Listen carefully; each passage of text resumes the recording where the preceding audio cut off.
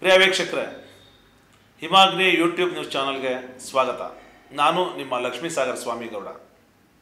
ಸ್ನೇಹಿತರೆ ಸ್ಯಾಂಡಲ್ವುಡ್ಡಿನ ಬಗ್ಗೆ ನಿಮಗೆ ಬಹಳ ಆಸಕ್ತಿ ಇದೆ ಅಲ್ವಾ? ಅದರಲ್ಲೂ ಅಲ್ಲಿನ ಸಿನಿಮಾ ನಟರ ಬಗ್ಗೆ, ನಟಿಯರ ಬಗ್ಗೆ ನಿಮಗೆ ಕುತೂಹಲ ಇದೆ ಅಲ್ವಾ? ಪ್ರತಿ ಸಿನಿಮಾವನ್ನು ನೀವು ಹಗಲು ರಾತ್ರಿ ಕಣ್ಣಿಗೆ ಎಣ್ಣೆ ಬಿಟ್ಕೊಂಡು ನೋಡಿದ್ದೀರಲ್ವಾ ಪ್ರತಿ ನಾಯಕನ ಸಿನಿಮಾ ಒಂದು ರಿಲೀಸ್ ಆಗ್ತದೆ ಅಂದರೆ ಬೆಳಿಗ್ಗೆ ಬೆಳಿಗ್ಗೆನೇ ಚಿತ್ರಮಂದಿರಗಳ ಬಳಿ ಹೋಗಿ ಗಂಟೆಗಟ್ಟಲೆ ಕ್ಯೂನಲ್ಲಿ ನಿಂತು ಟಿಕೆಟ್ ಖರೀದಿಸಿ ಸಿನಿಮಾ ನೋಡ್ತೀರಲ್ವಾ? ಹೌದು, ಇದೆಲ್ಲ ನಿಜ. ಅದರಲ್ಲೂ ನಿಮಗೆ ಮಚ್ಚು ಲಾಂಗು, ನಾಯಕ ನಟ ಮಚ್ಚು ಲಾಂಗು ಹಿಡಿದು ಬರುವಂಥ ಸಿನಿಮಾಗಳು ಅಂದರೆ ತುಂಬ ಇಷ್ಟ. ಅಂಥದ್ದೇ ಪಾತ್ರಗಳಲ್ಲಿ ಮಿಂತವರು ನಮ್ಮ ಶಿವಣ್ಣ ಅವರು, ಸುದೀಪ್ ಅವರು, ಯಶ್ ಅವರು, ದರ್ಶನ್ ಅವರು ಹಾಗೆಯೇ ದುನಿಯಾ ವಿಜಯ್ ಅವರು. ದುನಿಯಾ ವಿಜಯ್ ದುನಿಯಾ ಪಿಕ್ಚರ್ ಮುಖಾಂತರ ಬಂದು ದುನಿಯಾ ವಿಜಯ್ ಅಂತ ಹೆಸರಾದವರು. ಆರಂಭದಲ್ಲಿ ಅವರೊಬ್ಬರು ಸ್ಟಂಟ್ ಕಲಾವಿದ, ಸಾಹಸ ಕಲಾವಿದ. ಮುಂದೆ ಅವರು ಚಿತ್ರನಟರಾಗಿ ಬೆಳೆದದ್ದು ನಿಜಕ್ಕೂ ಚಿತ್ರರಂಗದ ಒಂದು ಮೈಲಿಗಲ್ಲು. ಆದರೆ ನಾಯಕ ನಟನಾಗಿ ಬಂದಂಥ ದುನಿಯಾ ವಿಜಿ ದುನಿಯಾ ಪಿಕ್ಚರ್ ಸಕ್ಸಸ್ ನಂತರ ಹಲವಾರು ಸಿನಿಮಾಗಳನ್ನ ಕೊಡ್ತಾರೆ. ಆ ಸಿನಿಮಾಗಳಲ್ಲಿ ಕೆಲವು ಕ್ಲಿಕ್ ಆಯ್ತವೆ, ಕೆಲವು ಮಲಗ್ತವೆ. ಭೀಮಾತಿರದ ಚಿತ್ರದಲ್ಲಿ ವಿವಾದವನ್ನು ಮೈ ಮೇಲೆ ಎಳೆದುಕೊಂಡಂಥ ವಿಜಿ ಆನಂತರ ಚಿತ್ರರಂಗದಲ್ಲಿ ಸೋಲುಣ್ತಾ ಬಂದರು. ಆದರೆ ಜಿದಿ ಎದೆಗುಂದಲಿಲ್ಲ ಹೀಗೆ ಅವರು ಮಾಡಿರೋಂಥ ಒಂದು ಚಿತ್ರ ಸಲಗ. ಬೆಂಗಳೂರಿನ ಅಂಡಲ್ ವರ್ಲ್ಡ್ನಲ್ಲಿ ಬಡ್ಡಿಂಗ್ ರೌಡಿಗಳನ್ನು ಬೆಳೆಸ್ಕೊಂಡು ಡಾನ್ಗಳು ಹೇಗೆ ಸಕ್ಸಸ್ ಆಗ್ತಾರೆ ಅನ್ನೋವಂಥ ಹೇಳುವಂಥ ಚಿತ್ರ ಇದು ಸಲಗ. ದುನಿಯಾ ವಿಜಿ ಸಲಗ ಚಿತ್ರದಲ್ಲಿ ತಾಯಿ ಬಗ್ಗೆ ಇರ್ತಕ್ಕಂಥ ಸೆಂಟಿಮೆಂಟ್ನ ಬಹಳ ಮನೋಜ್ಞವಾಗಿ ಹೊರಹಾಕಿದ್ದಾರೆ.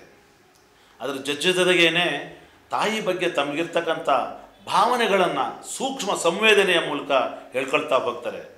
ನಿಜವಾಗ್ಲೂ ಇದು ಬಹಳ ಮನಮುಟ್ಟುವಂಥ ಮನ ಕಲಕುವಂಥ ಸನ್ನಿವೇಶ.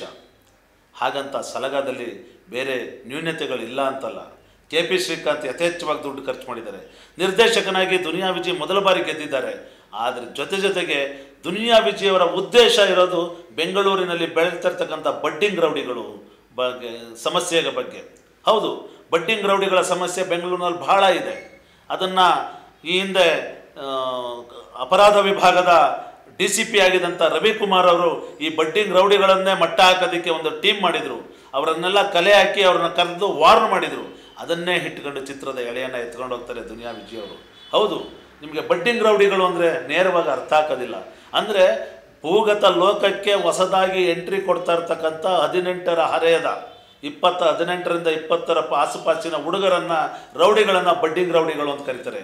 ಅವರು ಆಗ್ತಾನೆ ಈ ಭೂಗತ ಲೋಕಕ್ಕೆ ಎಂಟ್ರಿ ಕೊಡೋರು ಇರ್ತಾರೆ. ಅಂಥವರ ಮೂಲಕ ಹೇಗೆ ಭೂಗತ ಲೋಕದಲ್ಲಿರ್ತಕ್ಕಂಥ ಡ್ಯಾನ್ಗಳು ಕೆಲಸ ಮಾಡಿ, ಮರ್ಡರ್ ಮಾಡಿ, ಇನ್ನೊಂದು ಮಾಡಿ, ಅಪರಾಧ ಕೃತ್ಯಗಳನ್ನು ಮಾಡಿಸಿ, ಹೇಗೆ ತಾವು ಡಾನ್ಗಳಾಗಿ ಮಿಂತಾರೆ ಅಂತ ಹೇಳುವಂಥ ಒಂದು ಪ್ರಯತ್ನದಲ್ಲಿ ದುನಿಯಾ ಯಶಸ್ವಿ ಆದರೆ ಅದೇ ಪ್ರಯತ್ನದಲ್ಲಿ ಇನ್ನೊಂದು ಕಡೆಯಿಂದ ಅವರು ಸೋಲ್ತಾ ಹೋಗ್ತಾರೆ. ಹೇಗೆ ಅಂತೀರಾ? ಹೌದು. ಅದೇ ಆದ ಮಕ್ಕಳ ಕೈನಲ್ಲಿ ಮಚ್ಚು ಲಾಂಗು ಕೊಟ್ಟರೆ ಅವರು ಬೆಳೀತಾ ಹೋಗ್ತಾರೆ ಅಂತ ಅನ್ಬೋದು. ಆದರೆ ಅವರು ಪಾತಕ ಲೋಕಕ್ಕೆ ಎಂಟ್ರಿ ಕೊಟ್ಟರೆ ಅವ್ರ ಭವಿಷ್ಯ ಏನಾಗುತ್ತೆ? ಆ ಮಕ್ಕಳ ಚಿಂತನೆ ಏನಾಗುತ್ತೆ? ಆ ಒಂದು ಸಂದೇಶ ಸಮಾಜದ ಮೇಲೆ ಯಾವ ರೀತಿ ಬೀಳುತ್ತೆ ಅನ್ನೋದ್ರ ಬಗ್ಗೆನೂ ನಾವು ಯೋಚನೆ ಮಾಡಬೇಕಾಗುತ್ತೆ. ಆ ನಿಟ್ಟಿನಲ್ಲಿ ಎಲ್ಲೋ ಒಂದು ಕಡೆ ಯುವಕರ ಮನಸ್ಸಿನಲ್ಲಿ ಭೂಗತ ಲೋಕಕ್ಕೆ ಸೆಳೆತವನ್ನು ಉಂಟು ಮಾಡೋದಕ್ಕೆ ಈ ಸಲಗಾ ಪಿಕ್ಚರ್ ಹೆಚ್ಚಾಗಿ ಹಾಗಾಗಿ ಸಲಗ ಒಂದು ಕಡೆಯಿಂದ ತಾಯಿ ಸೆಂಟಿಮೆಂಟ್ನಿಂದ ಯಶಸ್ವಿಯಾದರೆ ಇನ್ನೊಂದು ಕಡೆಯಿಂದ ಬಟ್ ಯು- ಯುವಕರಿಗೆ ಹೇಗೆ ಪ್ರೇರೇಪಿಸ್ತದೆ ಅನ್ನೋದನ್ನು ನಾವು ಚಿಂತನೆ ಮಾಡಬೇಕಾಗುತ್ತೆ. ಬಹುಶಃ ಈ ನಿಟ್ಟಿನಲ್ಲಿ ಕೊಂಚ ದುನಿಯಾ ವಿಜಯ್ ಅವರು ಆಲೋಚನೆ ಮಾಡಿದರೆ ನಿಜವಾಗಲೂ ಸಲಗ ಸಲಗವಾಗೇ ಇರ್ತಿತ್ತು. ಆ ಸಲಗ ಕನ್ನಡ ಚಿತ್ರರಂಗದ ಸಲಗ ಆಗ್ತಿತ್ತು. ಆ ನಿಟ್ಟಿನಲ್ಲಿ ಮೊದಲ ಪ್ರಯತ್ನದಲ್ಲೇ ದುನಿಯಾ ವಿಜಯ್ ತಮ್ಮ ಸಲಗ ಚಿತ್ರವನ್ನು ಯಶಸ್ಸಿನ ತಕ್ಕೊಂಡೊಯ್ಯೋದಕ್ಕೆ ಯಶಸ್ವಿಯಾಗಿದ್ದಾರೆ. ಆದರೆ ಕೆಲವೊಂದು ಕಡೆ ಬಹಳ ಅಶ್ಲೀಲವಾದ ಡೈಲಾಗ್ಗಳನ್ನು ಹೇಳೋದ್ರ ಮೂಲಕ ಸಂಭಾಷಣೆಯನ್ನು ಹೇಳಿಸೋದ್ರ ಮೂಲಕ, ಎಲ್ಲೋ ಒಂದು ಕಡೆ ಥರ್ಡ್ ರೇಡ್ ಸಂಭಾಷಣೆಗಳು ಕ್ಲಿಕ್ ಆಗ್ತವೆ ಅನ್ನೋ ಒಂದು ಮನೋಭಾವಕ್ಕೆ ಬಂದಾಗಿದೆ.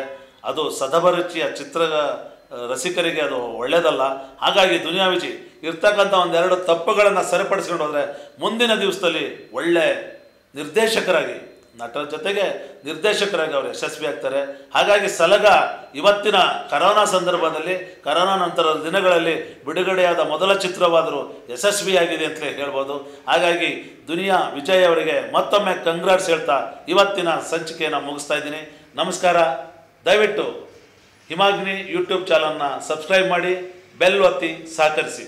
ನೀವು ಇನ್ನು ನಮ್ಮ ಚಾನಲ್ ಸಬ್ಸ್ಕ್ರೈಬ್ ಮಾಡಿಲ್ಲ ಅಂದ್ರೆ ಈಗಲೇ ಸಬ್ಸ್ಕ್ರೈಬ್ ಮಾಡಿ, ಶೇರ್ ಮಾಡಿ, ಲೈಕ್ ಮಾಡಿ.